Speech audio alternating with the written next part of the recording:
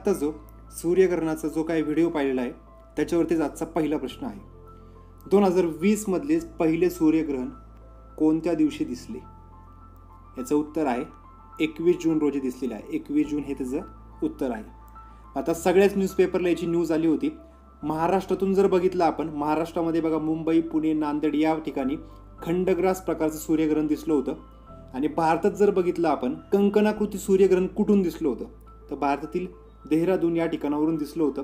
तुम्ही आत्ता व्हिडिओमध्ये पण पाहिलेलंच किंवा व्हिडिओमध्ये पण क्लिअर दाखवलेलं आहे की देहरादूनमधून हे जे काय सूर्यग्रहण होतं हे कंकणाकृती प्रकारचं दिसलं होतं.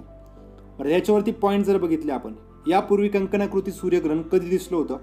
पंधरा जानेवारी दोन हजार दहा त्याच्यानंतर सव्वीस डिसेंबर दोन हजार एकोणीस आणि आत्ता एकवीस जून दोन हजार वीस रोजी कंकणाकृती सूर्यग्रहण दिसलं होतं.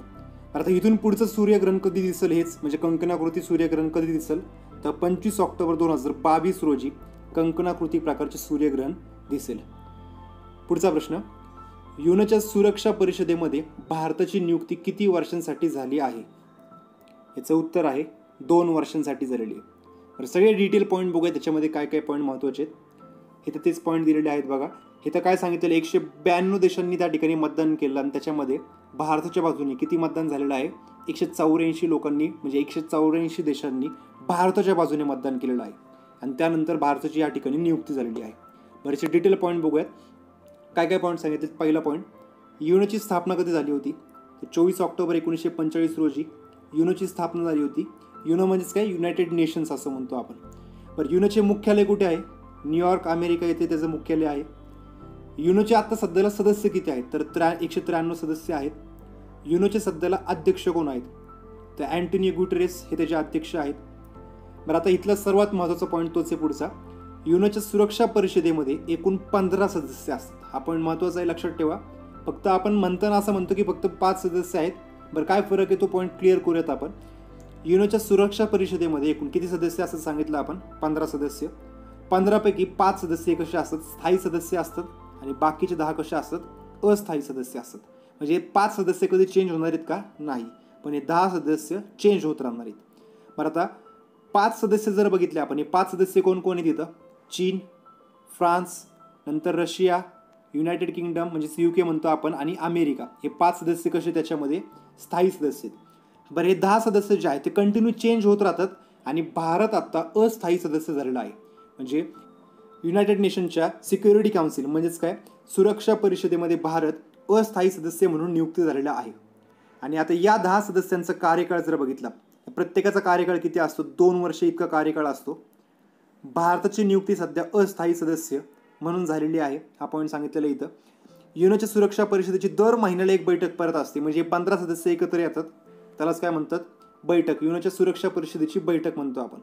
आता युनोच्या सुरक्षा परिषदेची बैठकीचा प्रत्येक महिन्याला अध्यक्ष वेगवेगळा असतो. म्हणजे तो अल्फाबेटिकली असतो. म्हणजे समजा अमेरिका जर बघितला आपण. अमेरिका अल्फाबेटिकली ए आला. सुरक्षा परिषदेमध्ये पहिला अध्यक्ष कोण असेल? एनुसार म्हणजे अमेरिका असेल.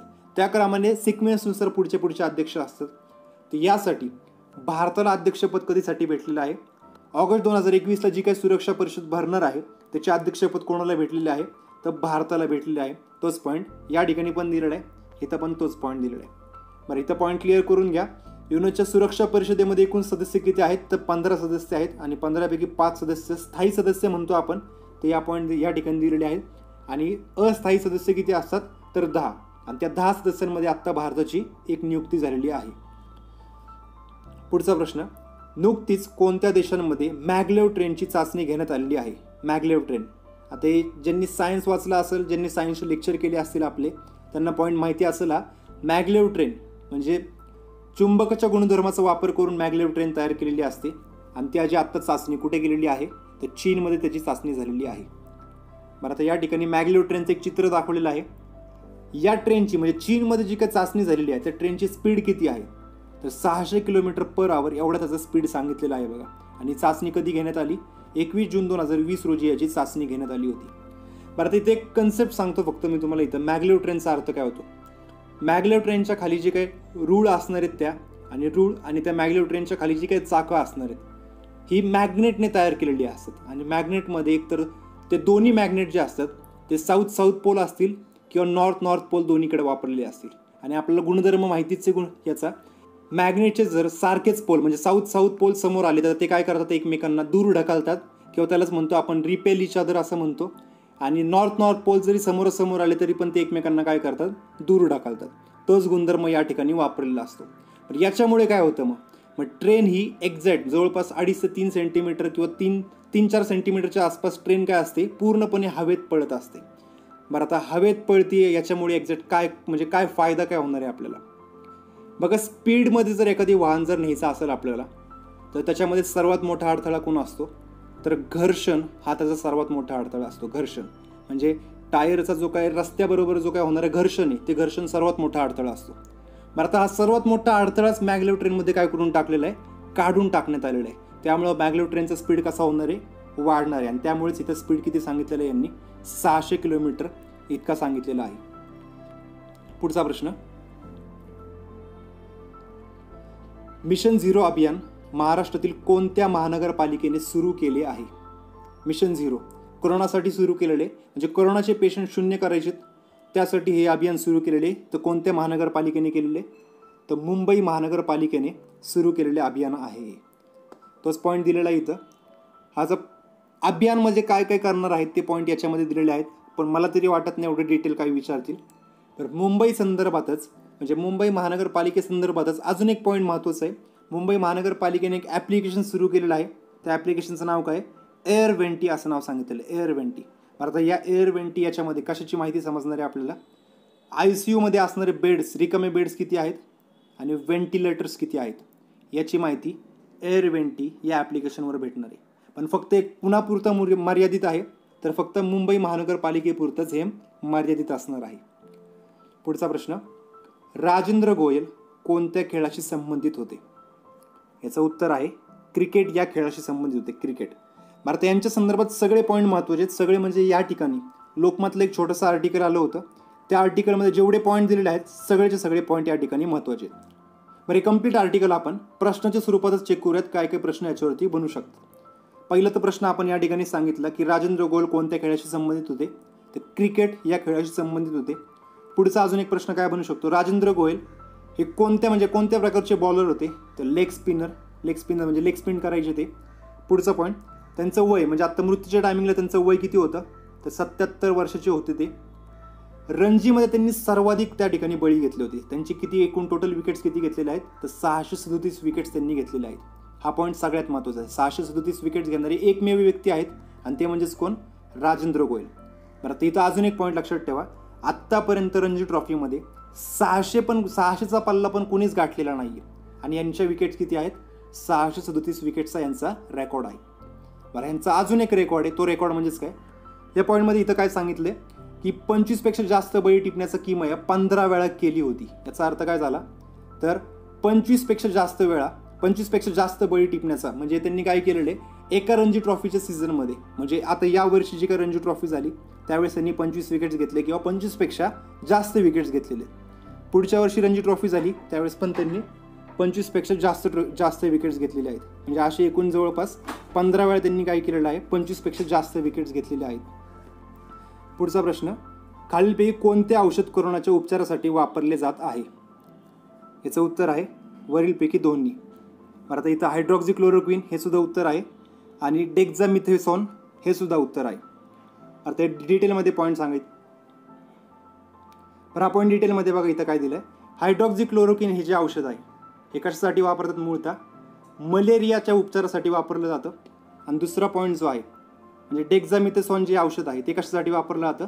संधिवातासाठी. संधिवात म्हणजेच काय? जे काही जॉईंट्स असतात म्हणजे गुडघ्याचे जॉईंट्स असतील कोपऱ्याचे जॉईंट्स असतील त्याच्या उपचारासाठी हे औषध वापरलं जातं. आणि हे दोन्ही औषधे आत्ता कशाच्या उपचारासाठी वापरली जात आहेत?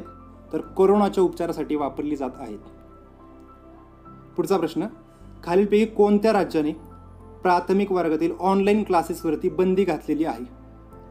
याचं उत्तर आहे वरीलपैकी दोन्ही. म्हणजे कर्नाटकने पण बंदी घातलेली आहे आणि मध्य प्रदेशने सुद्धा बंदी घातलेली आहे. तेच पॉईंट इथे दिलेले आहेत. म्हणजेच प्राथमिक म्हणजेच काय सांगितलेलं त्यांनी पाचवीच्यापर्यंत जे काही क्लासेस असतील ते घ्यायचे नाही आहेत तुम्ही ऑनलाईन आणि सहावीपासून बारावीपर्यंत तुम्ही कंप्लीट काय करू शकता? ऑनलाईन क्लासेस घेऊ शकता. पुढचा प्रश्न जागतिक श्रीमंत व्यक्तींच्या यादीत मुकेश अंबानी कितव्या स्थानी आहेत? याचं उत्तर आहे नवव्या स्थानी आहेत. बरं आत्ता फोर्ब्सने यात नवीन यादी जाहीर केलेली आहे. आणि मी तर म्हणतो की मुकेश अंबानी यांच्या संपत्तीमध्ये वाढ झाली होती. त्यामुळेच त्यांनी आत्ता फोर्ब्सने काय केलेले ही यादी जाहीर केलेली बरं आत्ता गेल्या तीन महिन्यापूर्वीची न्यूज जर पाहिली आपण मुकेश अंबानींचा आकडा जो होता म्हणजे रँक होता तो तीसपेक्षा जास्त रँक होती त्यांची. आणि आत्ता अचानक त्यांची रँक कितवी आलेली आहे? तर नवव्या स्थानी मुकेश अंबानी आलेले आहेत. बरं आता एवढ्या लगेच त्यांची रँक कसं काय वाढली? तर त्यांनी जिओमधले जवळपास काय केलेले आहेत? अकरा कंपन्यांना त्यांनी त्यांचे शेअर्स विकलेले आहेत. त्याच्यामधला आपण एक पॉईंट पाहिला होता. फेसबुकने पण काय केलेले जिओमधले शेअर्स विकत घेतले होते. आणि त्याच्यानंतर ते शेअर्स विकत घेतल्यानंतर मुकेश अंबानींच्या संपत्तीमध्ये वाढ झाली होती. त्यामुळे जागतिक स्तरावरती मुकेश अंबानी यांचे स्थान कितवे आहे? तर नवव्या क्रमांकाला ते आलेले आहेत. बरं बाकीचे पॉईंट पहिले दहाचे दहा इथं दिलेले आहेत. पहिले कोण आहेत? जेफ बेजॉस दुसरे कोण आहेत? Bill Gates. चौथ्या क्रमांकाला मार्क झुकर झुकरबर्ग. नवव्या क्रमांकाला मुकेश अंबानी आणि दहाव्या क्रमांकाला लॅरी पेज. पुढचा प्रश्न लघुग्रहसारखा एक घटक नुकताच भारतातील कोणत्या राज्यात पडलेला आहे? बरं आता एक व्हिडिओ बघा. याचप्रमाणे हा एक लघुग्रह होता. लघुग्रहासारखा एक छोटासा तुकडा होता. तो आत्ता काय झालेला आहे? भारतातील एका राज्यामध्ये पडलेला आहे. त्याच्यावरतीच हा प्रश्न मी हा प्रश्न तयार केलेला आहे. बरं भारतातील कोणत्या राज्यामध्ये पडलेला आहे? तर राजस्थान या ठिकाणी हा तुकडा पडलेला आहे. बरं त्याची डिटेल माहिती बघा. एकोणीस जून दोन हजार एकोणीस रोजी राजस्थानमध्ये सांचोर जिल्हा कुठला आहे? तर जालोर या गावात हा लघुग्रह सारखा तुकडा पडलेला आहे. बरं या तुकडा जो आहे या तुकड्याचं वजन किती सांगितलेलं आहे यांनी? दोन पॉईंट अठ्ठ्याहत्तर के जी इतकं वजन सांगितलेलं आहे. हा तुकडा पडल्यानंतर तिथे एक खड्डा तयार झाला होता. तो खड्डा कितीचा एक फूट एवढा खड्डा पडला होता. आणि याच्या पकडण्याचा याच्या पडण्याचा जो काही आवाज होता तो आवाज जवळपास दोन किलोमीटरपर्यंत त्याचा आवाज लांब गेला होता. बरं त्याच्यामध्ये कोणते कोणते घटक त्याच्यामध्ये सामावलेले आहेत? त्याच्या टेस्ट केल्यानंतर त्या ठिकाणी दिसलं की याच्यामध्ये सगळं सर्वात जास्त लोहाचं प्रमाण सर्वात जास्त आहे. तर लोह किती आहे? पंच्याऐंशी पॉईंट शहाऐंशी टक्के. लोह सांगितलेले. दहा पॉईंट तेवीस टक्के. निकेल सांगितलेले आहे. आणि बारीक बारीक घटक, म्हणजे जर्मेनियम, अँटीमनी हे बारीक बारीक घटक त्याच्यामध्ये अजून आहेत.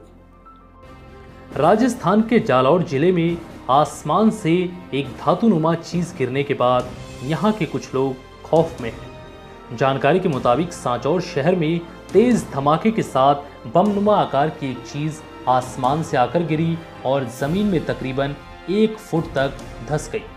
इस धमाके की आवाज़ दो किलोमीटर दूर तक सुनाई दी। इस चीज़ को कोई उल्का पिंड बता रहा है, कोई मोटार कोई बम तो कोई जहाज़ का टूटा हुआ हिस्सा। बहरहाल ये चीज़ अब पुलिस के कब्जे में है और जाँच जारी है। जालौर ज़िले के सांचौर शहर में न्यू गायत्री कॉलेज से सटे क्षेत्र में आज सुबह करीब सवा छः बजे आसमान से तेज धमाके के साथ बमनुमा आकार का धातु का टुकड़ा गिरने से आसपास के इलाकों में दहशत फैल गई।